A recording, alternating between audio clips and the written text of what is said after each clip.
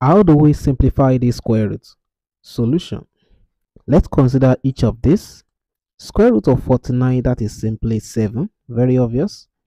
Now, square root of 48.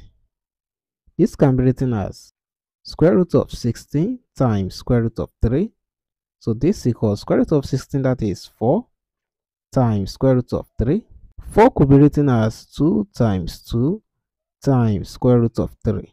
So square root of 48 is equals to this. So back to our question. We have square root of square root of 49 minus square root of 48 equals square root of square root of 49 that is 7 so we have 7 minus square root of 48 now is this 2 times 2 times square root of 3 so let's proceed further so this equals square root of we can write 7 as 4 plus 3 so we have minus 2 times 2 times square root of 3 this equals square root of 4 also can be written as square root of 4 all square plus likewise 3 as square root of 3 all square minus 2 times 2 times square root of 3.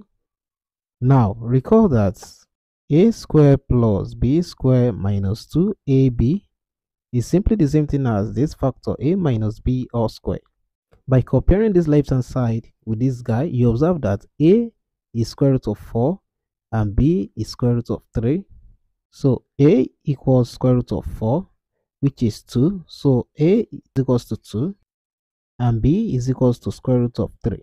Therefore, square root of square root of 49 minus square root of 48 is equals to square root of a minus b all square.